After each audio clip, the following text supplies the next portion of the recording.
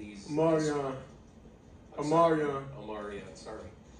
Can I ask you both to describe the fourth and five touchdown pass? And your first review, what did you see? Because every replay I saw, there was, there wasn't any opening there, if you found one. Can you sort of describe what you saw, and then maybe, uh, you know, from there? I uh, really just trusting the play call. Uh, OC coach, he um he made the call. We just gotta execute it. That's it. Starting off, we executed plays early and often. We was here and there, and then we you know we had a couple penalties. Uh, so we can't afford to keep doing that when we play these better teams. And just I'm proud of him for being able to step up and knowing it's that moment his time was coming, and uh, he put it on display for y'all. What did you see on that play? Um, pretty much the same thing Shedeur said, you know, just trusting in the play, you know, we, we go over those plays every day, you know, just building confidence with each other, you know, just believe I can make that play. So, you know, it's all about trusting your teammates. Were you screened on that play by the defensive back? Um, not really. He kind of just stepped in front of me, you know, I took it backside and I just went and tacked the ball. So legit, Omarion, what was it like to just have the game you had today? Oh man, it was crazy, you know. Honestly, last night I dreamed about playing like this, you know. I just dreamed I'd come out here and destroy, and I did it. So, you know, all praise to God. Matt, go ahead. Shedeur Matt Smith, 1043 The Fan. You want to just take us through the last six minutes? You guys got the ball back, I think, like 5:58 with one timeout left. Felt like maybe there's some communication issues, or maybe just took a long time to get things in. What was going on there? Uh, really, we just all eleven players on the field wasn't going to execute that exact play call. So my thing is, I'd rather not. I'd rather take our time, so what, rather than have a negative play and stuff like that. So that goes on me for not controlling the offense and not controlling uh, everybody knowing what to do in that specific play.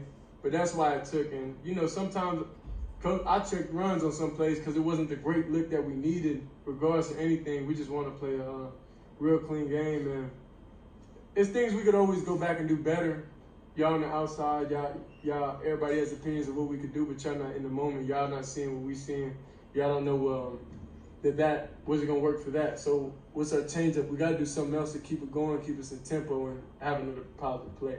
So that's why we was really going slower, and I put a lot of that on me. You know, coach, he's really a fast tempo guy, but I slowed it down, and that's just that's just on me.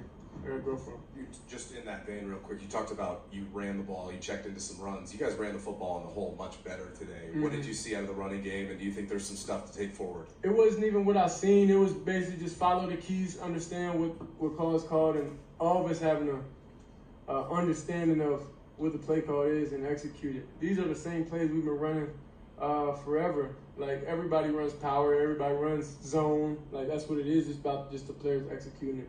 So I feel like today we had a better mindset and understand. Okay, we got to execute these plays for them to be able to work, and that's what we did. We just got to do it quicker.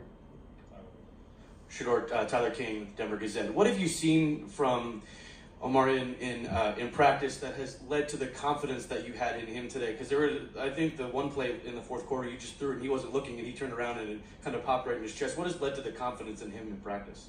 Well, that was that's an anticipation throw.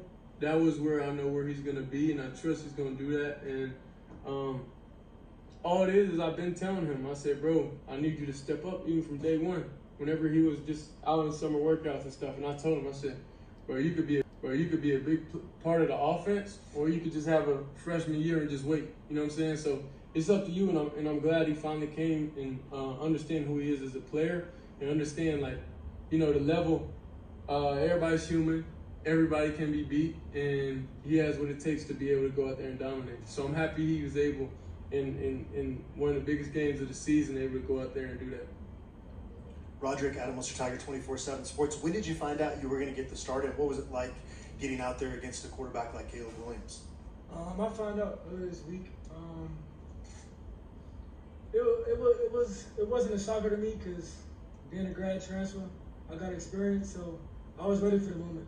I can tell you this whole week, I probably wasn't able to sleep a lot. I was wake up in the middle of the night thinking about it. And just playing against a quarterback like Caleb Williams, man, that's a dream. It's, it's a dream, man. Playing against the Heisman quarterback from last year, it's a dream. I, I wouldn't want to be nowhere else than where I was today. I felt like I gave everything I had. There's still some stuff we got to correct as a defense, but overall, man, it was a dream come true, man. Go ahead, Mark. Mark Kiszla, Denver Post, for Shedeur. Your attitude and the team's attitude, it's 34 to 7 with just a, a minute left in the first half. And second, you played against the best quarterback, college quarterback in the country. How do you think you fared? Wait, say that one more time. How do you personally, No, I was saying the first part. you're down 34 to 7 Yeah. with a minute left in the first half. What's your attitude at that point point, at the team's attitude? Plays play for what it is. Understand um, they just executed plays. That's why they're up. We didn't execute our plays, and that's why we weren't. Uh, it goes again like in practice. Like you just can't get bored with the easy things. Uh, we just had to lock in and understand. Look, this is not going to be a, a recap of what happened last week, and we're just not going out like that. So we gotta whatever it takes. And that's that was the whole motto this week, and that's how I prepare mentally. Like whatever it takes, uh, we'll do it and just put everything on the line. So really, just getting in that zone and having everybody get in that zone off rip and off the beginning, then that's what will help us, you know, have not getting those great deficits, especially when you're playing a good offense, a great quarterback. Hmm? I mean, I feel like my stage is my stage. you know, I don't think uh, he's a great player, but it's not. It's not. Oh, I'm on his stage and anything like that. Like, you know, we got the attention, we got everything we need. I'm, I'm comfortable. I'm, I'm good on, you know, how everything I'm doing. So it's not really a stage. It's just a big game. That's it.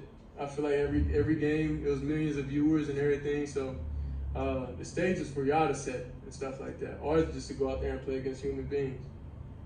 Um, for Rodrick, uh, Jack Carlough, Buffaloes Wire. Um, just what changed for you guys defensively? I think you allowed about half as many yards. Um, USC in the second half. Just what changed for you guys? Um, I just feel like we, we was able to play together. I feel like the first half where everybody was rah and the energy was high. And once we finally came together in the second half and everybody calmed down and focused on their keys and had their eyes in the right place, there there wasn't no stopping us, man. We were able to steamroll and get that get that get that train rolling and get the ball back in his hands. That's all we were trying to do, man. Right, Ariel Sudo, 9 News for Shedeur. Uh, very simply, first, do you believe in moral victories?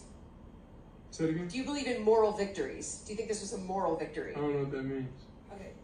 Then let's move on from there. Uh, what came together for you guys in the second half, and like, why do you do you believe that this second half of the game is who this team really is? I mean, it's gonna get boring about what I'm saying because it's the same thing. Like uh, to football, all, all it's about is executing, getting into that zone, getting into that mind frame off the beginning. So it's really those who don't understand, you won't know. Those who play sports will understand. Like getting into that, uh, you can't hear nobody, but just focus on your job and assignment and trust the guy next to you. I trust in my own line. I trust in uh, all the receivers and stuff. There's things they're good at, things they're bad at, but uh, play to everybody's strengths and really just get back with Coach, um, Coach Blue, and just talk about what we like, what we don't like, what we're getting great looks out of, and he called a great game. For a while.